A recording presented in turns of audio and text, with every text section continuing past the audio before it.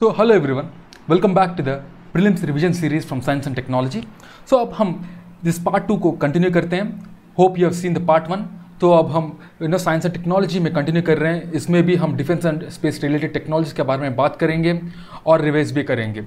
तो let's get started so the content क्या है आज के लेक्चर के लिए? सो so, कंटेंट ये है कि फ़र्स्ट हम पढ़ेंगे क्लोज फ्यूल साइकिल के बारे में उसके बाद we will see PUNCH mission क्या है किसने लॉन्च किया उसके बारे में हम पढ़ेंगे उसके बाद हम we will see what is stratum attacker we will see we will read about the spike missile we will see what is Cassini probe हम देखेंगे ड्रैगन फ्लाई मिशन क्या है, किसने लॉन्च कर रहे हैं, वो सब कुछ हम देखते हैं। उसके बाद हम लॉन्च अबाउट सिस्टम के बारे में बात करते हैं।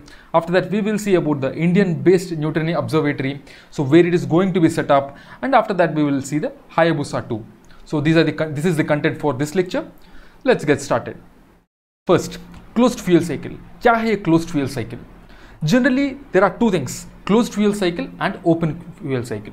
So these are the two kinds of fuel cycles wherein which in closed fuel cycle the output what we will be getting is very less. What is the output? When the fuel is burned we will have a residue. Generally when we see in a bike when petrol is burned then we will get, be getting a residue. What is that residue? The smoke and the dust particles is the residue when petrol is burned. In the same way be it any be it any machine or anything where there is burn where something is being burned we are going to get a residue when wood is burned ash is the residue so in that way we are getting a residue when something is burned so closed fuel cycle में what क्या हो रहा है the residue जो हम burn होने के बाद हमारे पास है वो residue that will be used again वो फिर से यूज़ करते हैं और द रेसिड्यू को रिड्यूस करते हैं। The residue will be reduced such that the residue at the end after the you know after the reutilization of the residue what will be there at the end is very less compare to that what is there in the beginning okay that is what close fuel cycle means open means the same like the you know generally what is happening if everything is burned will getting we will be getting a residue that is the open fuel cycle but close fuel cycle ये है as I told you already reprocessing of the residue which is left after the initial burning after the initial consumption. So this closed fuel cycle generally you know when we use it it should be economical. Otherwise if you see if in if we use this closed fuel cycle concept in a bike it won't be economical. So we should be should be seeing where it is economical and where the residue is more harmful we should make sure we should use such residue. And this is concept is used in the nuclear power plants. Because as you know the nuclear power plants used fuels like uranium plutonium thorium etc these are very radioactive elements these are very harmful for us so even after the utilization the output residue which is left is very much radioactive so in normal process, normally we follow a open process wherein which the residue which is left will not be utilized completely. So the residue, the radioactive residue is being disposed, which is harmful both for environment as well as humans. So this closed fuel cycle has been introduced, wherein which it aims for reprocessing of fuel spent for fuel spent for recovery of uranium and plutonium and recycling them back to the reactor as fuel. So the, the output which was left is being used again. That is called closed fuel cycle.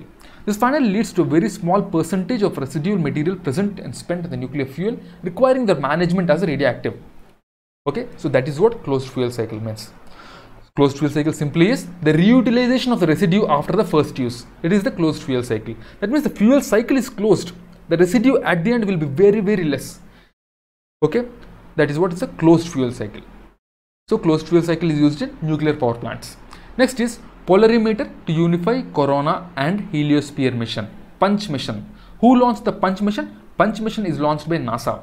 Launched by NASA and it focuses on understanding the transition of particles from sun's outer corona to the solar winds that fills the interplanetary space. So the outer you know part of the sun is called corona. The flares that we will be getting that is called corona of the sun. That is called corona. So this punch mission which is launched by NASA will be helpful for us in understanding the transition of particles. That means how the particle moves from the corona to the other places. It is expected to be launched by 2022. So a question may be like, Punch mission which was recently in news is launched by which space is going to be launched by which space organization? A ISRO, B NASA, C European Space Agency ESA and D JAXA the Japanese Space Agency. Answer will be NASA. Okay, that is how question can be asked. Next, Stum Ataka. What is Stum Ataka? It is the anti-tank missile of Russia. Stum Ataka is the anti-tank missile of Russia and India has signed a deal with Russia for this Stum Ataka anti-tank missile. So can you name an anti-tank missile of India? Just comment that in the comment section and I'll get back to you. Next one, Spike missile. Spike is also an anti-tank missile, but this is based in Israel. This is of Israeli origin. So India have made two deals. One is the Spike missile, which is from Israel, and the second is the Stum Ataka, which is of Russia. Stum, remember, Stum Ataka is Russian anti-tank missile. Next is the Spike missile, which is the Israeli anti-tank missile. Next is Cassini probe. Cassini probe is the NASA's probe to Saturn. It ended its 13-year mission orbiting Saturn in September 2017 by dividing into Saturn's atmosphere by dividing into the sun, at Saturn's atmosphere. So this Cassini probe has been launched by NASA in order to study the Saturn. Studying Saturn is the main objective of Cassini probe. So this was, you know, this got this was ended in September 2017. Next, there is a probe coming that is called the Dragonfly mission. Remember, who will launch the Dragonfly mission? It will be launched by NASA. It will be launched by NASA. It is part of the New Frontier program of NASA. So this will go to Saturn's moon Titan. So this Dragonfly mission is launched by NASA and this is a nuclear powered.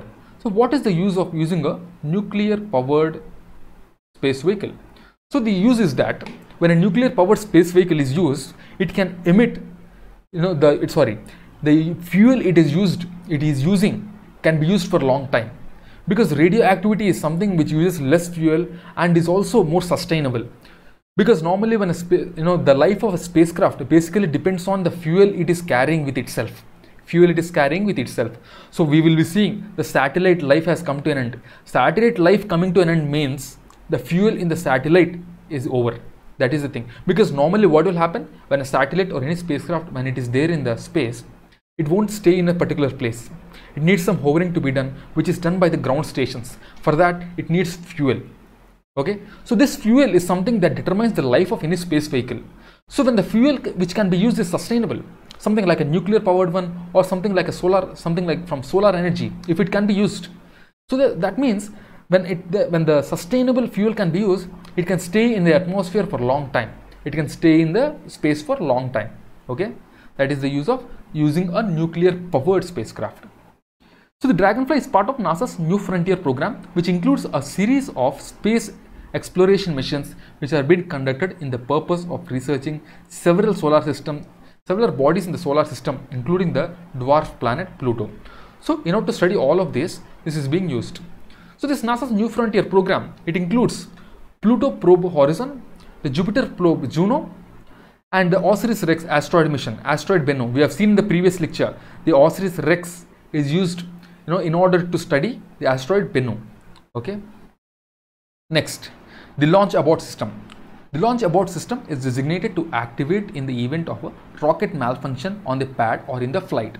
That means when a rocket is when a rocket is taken off this is some let's say this is the rocket when it is going to be taken off there might be some last minute faults there might be something that is not fixed which they came to know at the last minute when there is no one in the aircraft even if the aircraft fails, it's fine. But when there are people, when people are traveling for the interplanetary expeditions, we have to make sure the system is fail proof. So, come what may the situation, we are ready for all the contingencies.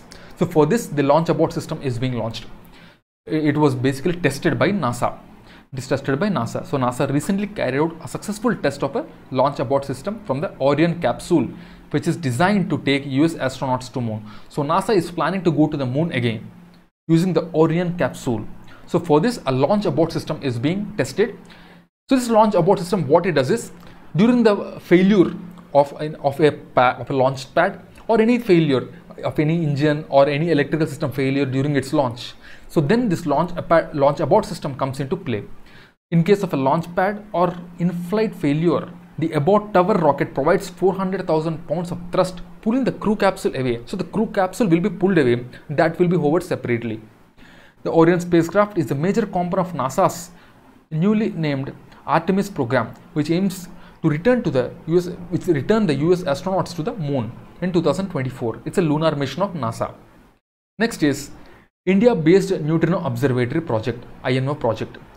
The center has reiterated that INO project will be established at Theni in southern Tamil Nadu, though there has been opposition by the locals for this project.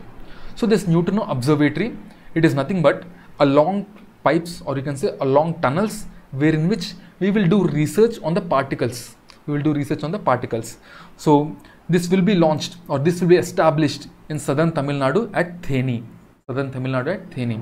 It aims at building a world-class underground laboratory with a rock cover of, cover of approximately 1200 you know meters. So the length of the tunnel will be 1200 meters for non-accelerator based high energy and nuclear physics research in India. So this is a very important step for promoting nuclear research. There is one more project eh, by CERN. CERN is nothing but the European Space Agency Research Organization. So the project is called the Large Hadron Collider. So this Large Hadron Collider, what it does is it tries to identify the different particles of space. It has identified the God particle. So there are a lot of particles which are unknown to us. The Neutrino Observatory will help in studying those particles along with the studying of neutrons. This initial goal is to study neutrons as I told you already. So the Neutrino Observatory will be established at Theni in Tamil Nadu, southern Tamil Nadu. So which ghats? Comment in the section. Comment in the comment section.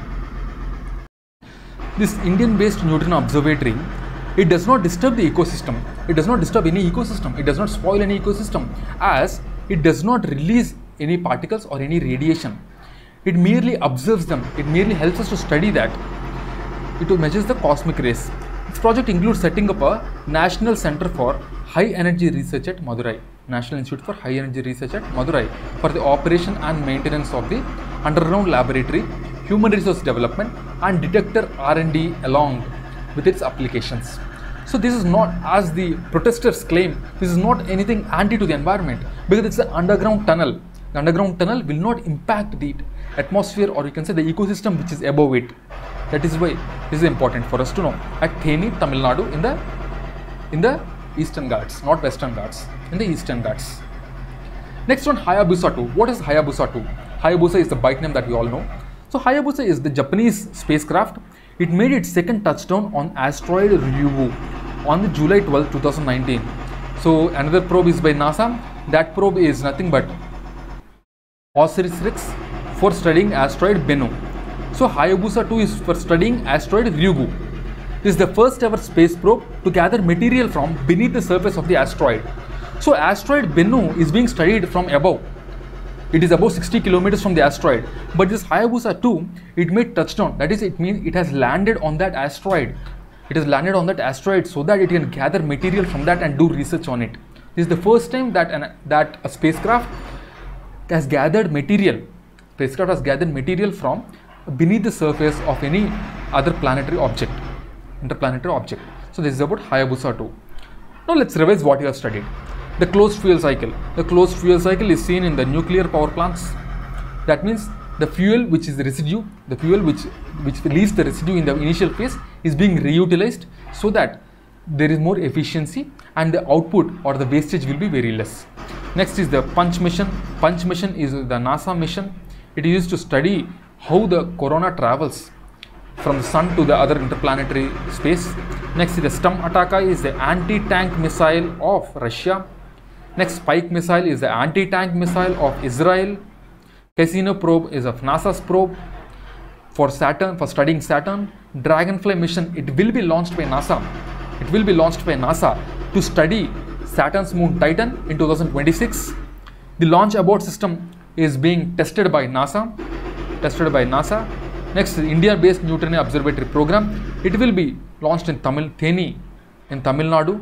It will be established in Theni, Tamil Nadu. Hayabusa 2 is to study asteroid Ryugu. It is spacecraft of Russia. Ryugu, it is spacecraft of Russia. Sorry, not Russia, it's Japan, Japanese spacecraft. Okay.